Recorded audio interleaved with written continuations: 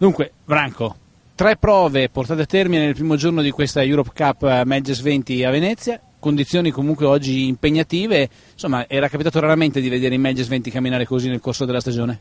Sì, diciamo che le condizioni meteo erano abbastanza favorevoli, abbiamo fatto tre belle regate, le condizioni erano belle diciamo da 10 a 6 nodi, solo l'ultima un po' in calo ma tutto il resto molto belle, agguerrite. Tra l'altro insomma Regini è lì in eh, vetta della classifica. Sì, abbiamo fatto oggi belle regate, eh, tre belle partenze, anzi una un po' meno, abbiamo avuto un incidente con un'altra barca, ma molto contenti.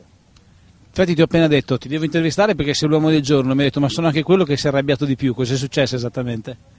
No, abbiamo perso tre punti per strada veramente per le sciocchezze, banalità, cioè robe che non si dovrebbero, cioè manovre in arrivo, queste robe qua che veramente le abbiamo sbagliate e mi sono un po' diciamo leggermente come dire ho alzato un po' la voce c'è una flotta piuttosto nutrita qui a Venezia, c'è stato qualcuno in questa prima giornata che non ti aspettavi così veloce sull'acqua?